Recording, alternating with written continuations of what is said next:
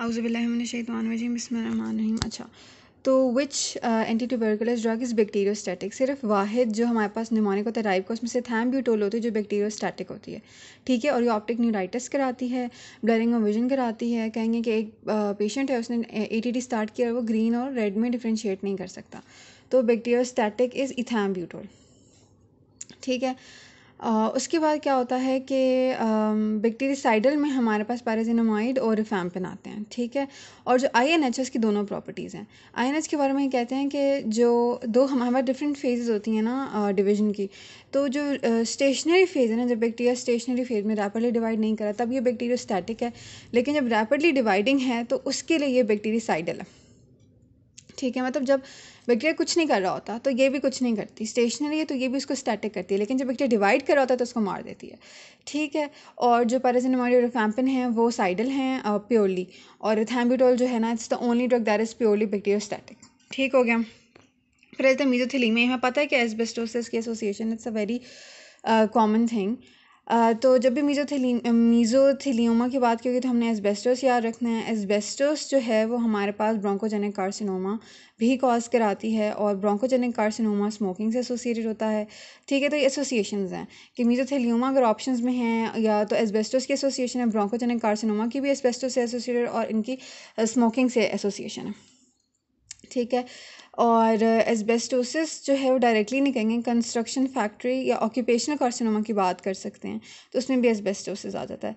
और अगर coal mining या सैंड ब्लास्टर की बात की तो इज़ वेरी इंपॉर्टेंट सिलिकोसिस है, जो हमारे पास होता है ना कि, क्या कहते हैं उसको इंटस्टिशियल लंग डिज़ीज़ में तो नहीं सॉरी न्यूमोकोनियोसिस में तो उसमें हमारे पास न्यूमोकोकल जो न्यूमोकोनियोसिस में तो कोल माइनिंग और सैंड ब्लास्टर हमारे पास सिलिकोसिस कॉज करते हैं। फिर आ जाता है कि अब हम स्टेटमेंट्स देखते हैं कि ओल्ड बिल्डिंग्स की डिम की डिमोलिशन में बंदा काम करता है, उसे डिसनी है चेस्ट एक्सरे में हमें क्या नज़र आ रहा है? डिफ्यूज़ इंटरसिशल फिब्रोसिस ठीक है? लंग्स की आयरन स्टेन स्ट्रिंग्स और बीड्स भी हैं, ठीक है? तो आयरन स्टेन स्ट्रिंग्स और बीड्स जो हैं ना हमारे पास वो जब नज़र आते हैं तो वो एसबेस्टोसिस होता है, ठीक है? ये उसकी करेक्टरिस्टिक बात होती है, ठीक है? उसके बाद fifty nine year old construction worker has history of asbestos exposure which of the following malignancies simple अभी हमने पढ़ा mesothelioma fibrovascular tissue leak with layers of mesothelium with structure could it possibly be lungs obviously और ठीक हो गया। Student was given slide for microscopic examination and he concluded to be mesothelium एपीथी mesothelium the specimen could be of lungs उसके बाद है rock crusher developer में high lymphadenopathy है। Birefringent particles हैं। ये बायोफ्रिंजन पार्टिकल्स हैं और सिलिकोसिस में हमारे पास होते हैं। ठीक है? और तो कोल माइनिंग और सैंड ब्लास्टर सिलिकोसिस और दूसरा एसबेस्टस उसके बाद आता था एसबेस्टस जो है, वो रूफ़ में इंसुलेशन में यूज़ होता है, लेकिन हमें ये लंग्स की लोअर लोब्स अच्छा ये याद करने का तरीका है कि वैसे ये छत में इंसुलेशन में यूज़ होता है, लेकिन ये इफ़ेक्ट लंग्स के नीचे वाले हिस्से को करता है मतलब कि बेस को करता है मतलब कि लोअर लोब्स को करता है। और सिलिका और कोल जो हैं, वो अर्थ की बेस में होते हैं लेकिन ये रूफ़ को करते हैं। तो एसबेस्टस लंग्स के लोअर लोब्स को करता है सिलिका और कोल अपर लोब्स को करते हैं, ये इंपॉर्टेंट बात है। फिर वही एसबेस्टस शिप बिल्डिंग इसके अलावा रूफिंग और प्लम्बिंग लोअर लोब्स एंड इससे ब्रोंकोजेनिक कार्सिन और मीजोथेलियोमा फिर बेरिलियोसिस। इफेक्ट्स दी अपर लोब्स ठीक है। अब ये भी अपर लोब्स को करता है एसबेस्टस सॉरी एसबेस्टस लोअर को करता है, ये अपर को करता है।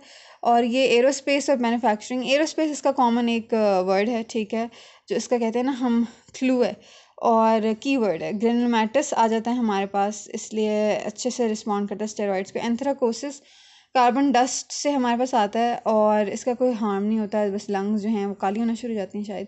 उसके बाद कोल वर्कर्स न्यूमोकोनियोसिस भी अपर लोब को करता है कोल डस्ट की इन्हेलेशन से और ब्लैक लंग डिज़ीज़ अच्छा इसमें लंग्स काली होती हैं। अच्छा सिलिकोसिस भी अपर अच्छा सब अपर को करते हैं सिवाय एसबेस्टस के सिर्फ़ एसबेस्टस में पर लोअर लोब्स ऑफ़ लंग को जो है वो इफ़ेक्ट करता है। फिर आ जाता है सिलिकोसिस भी अपर लोब को करता है। Is associated glass manufacturers and stone cutters and sand blasters and miners and is thought that it may disturb phagolysosomes and impair phagosomes and increases the susceptibility to TB ये भी बहुत important point है। ठीक है? Axial calcification इसकी classic जो है वो बात है। ठीक है? अच्छा नॉन स्मोकर है और चेस्ट में हैवीनेस है, कफ है है। ठीक है? लंग कैंसर है। तो which of the following environmental agent exposure तो रेडॉन नॉन स्मोकर है ठीक है? ऑप्शंस के हिसाब से इसका आंसर बनता है रेडॉन ये वाला एम को मुझे नहीं समझ आ रहा.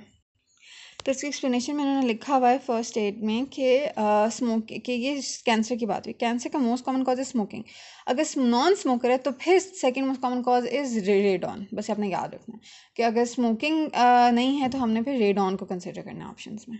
अच्छा अब हम ये टॉपिक्स जो है वो जल्दी से रेफरेंस से देख देख सकते हैं। न्यूमो को एस्बेस्टस रूफ में होती है और बेस को इफ़ेक्ट करती है वही बात। बाकी सारे रूफ अपर लोब्स को को जब इफ़ेक्ट करते हैं। एस्बेस्टोस की बात हमने एमसीक्यू में देखा था कि आयरन कंटेनिंग हमें जो है वो um, इसको कहते हैं iron stained strain strings and beads asbestos से मिलते हैं। ठीक है तो इन्हें हम कहते हैं ferruginous bodies golden brown fusiform rods होती हैं जो डम्बल्स को रिजेंबल करती हैं।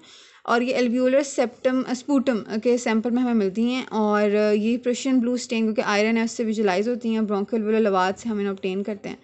ठीक है प्लूरल फ्यूजन का ज़्यादा हो जाता है ये तो हमें पता है बात। क्योंकि मिजोथ्योलमा वैसे में, में वैसे ही प्लूरल फ्यूजन भी होती है।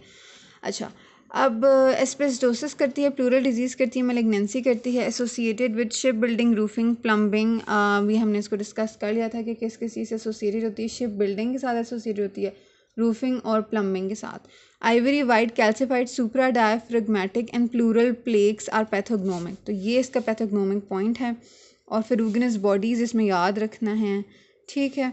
अच्छा ब्रोंकोजेनिक कार्सिनोमा का रिस्क होता है। मीजोथेलियोमा का कैप्लन सिंड्रोम ट्राइड होता है। र्यूमेटॉइड आर्थराइटिस न्यूमोकोनियोसिस नोड्यूल्स का, वो भी इससे होता है। बेरिलोसिस हमने कहा था एरोस्पेस और मैन्युफैक्चरिंग इंडस्ट्रीज़ में होता है। तो ये हमारे पास नॉन केजिएटिंग डिज़ीज़ कराती है और ग्लूकोकोटिकॉइड से रिस्पॉन्ड करती है कैंसर कोर परमेंट रिस्क होता है अपर लोब इसकी स्पेसिफिक इतनी बात नहीं है। बस एरोस्पेस से हब से पकड़ेंगे।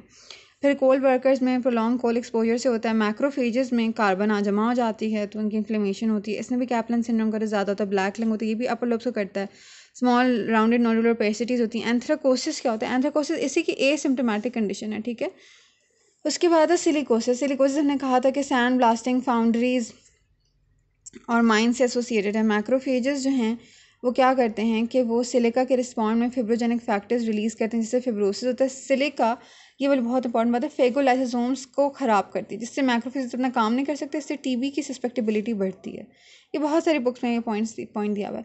और इससे भी कैंसर को ओपन परमानेंट और कैप्लन सब में कैप्लन सिंड्रोम का ज़्यादा और स्वैबेरिलियोसिस के। अपर लोब्स को अच्छा eggshell calcification on chest X-ray और silly egg sandwich which I found is mine अच्छा ये है एग्स एग शेल सिली से सैंड ब्लास्ट एग शेल हमें पता चल गया कि हाइलर लिम्फ नोड में एक्शल कैल्सिफिकेशन होती है which I found foundries is mine mines में भी हमारे पास सिलिका होती है। तो ये इसको याद करने के लिए इन्होंने बताया हुआ